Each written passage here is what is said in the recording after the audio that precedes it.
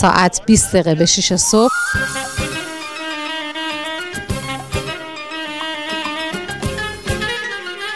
دو دو 1402 یه روز خاص برای یه مهمونی خاص.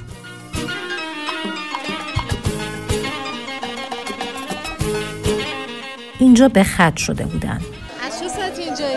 پنج ساعت دو نیم شب اینجا هستیم ساعت یازده دیشب از حدود چهار. از ساعت چهار و نیم تقریبا. برای یه پذیرایی. از مهمونایی که برای اقامه نماز عید فطر بعد سی روز بندگی اینجا بودن. یه ایران اومده بود حرم امام رضا. از هر میام. یزد. از اصفهان. مال مشهدیم مازندران ساری. از شهر ساوه برام از شیراز. چالوس همدان ما شهر قدس. از اصفهان. از اهواز. حتی از کشورهای همسایه هم اومده بودن. نجف اشرف. زایر نجفی که سعی می‌کرد ارادتش رو به زبون فارسی بگه. جنت الله فی الارض. آقای علی بن موسی رضا. کریم و طوس. پیر و جوون، نوجوون و کهنسال از قنوتاشون قرار بود برسن به حال خوبی که اینجا تجربهش کردن.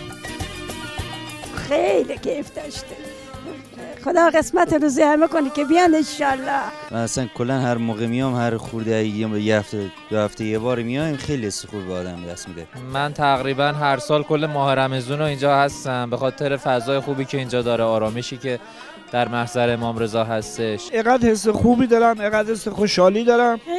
خیلی خوشحالم. چون رفتن زاره امام رضا اینقدر خوشگل زیارتش کردم از دیروز این گفتیم که خواب نمونیم حتما بریم حرم برای نماز عید فطر. ما همیشه که میایم مجاورم هستیم بازم حس تازه. هر موقع میایم حسش تازه است. این حس خوبی دارم خیلی. برای شما جوونا دعا می‌کنم برای بچه های خودم برای همه. مهمون کارش خواستن و عید فطر. بهترین فرصت برای مهمونای امام رضا بود که عیدی بگیرن. من از دیشب عیدیمو خواستم قسمش دادم به حق جوادش به حق خانم فاطمه زهرا به حق موسی بن جعفر که اول ظهور آقام زمان بعدم هر کس با هر نیت قلبی که اومده اینجا دست خالی بر نگرد. ظهور آقا امام زمان رو انشالله. عاقبت به خیری خودم و بچه هم یا عاقبت جوونا بخیر بشه. فرج امام زمان و سلامتی همه. سلامتی رهبرمون. و اینکه پرچم و هر چه زودتر به دست آقای امام زمان بدن می‌خوام که تمام مریضا شفا بده. سرم که صلح و امنیتم برقرار باشه. ازش می‌خوام که یه برادر بهم بده تعجیل فرج الامام المهدی. وان نكون تحت رايته ولوائه کنار امام رضا یه خونه به من بده. همه مریضا سال... سلامت بشن. و وقتی می‌رفتن لبخند به لب داشتن و خوشحال بودن.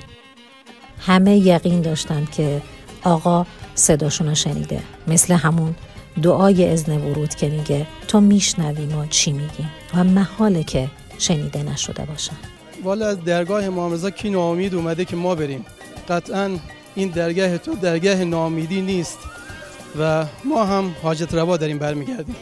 ساعت چند دقیقه مونده به هشت رو نشون میده. در حالی که نمازگزاره زیادی از سراسر کشور ایران خودشون رو قبل از طول آفتاب به صحن و سرای امام رعوف رسونده بودن تا نماز عید فطر رو شونه به شونه هم در صحنهای مختلف امام رضا برگزار کنند. پیر و جوانی که خوشحال و خندان از این حرم امن بیرون می‌رفتن در حالی که معتقد بودند امام رضا اونها رو دعوت کرده و انتخاب شده این امام رعوف هستند. عید شما مبارک باشه.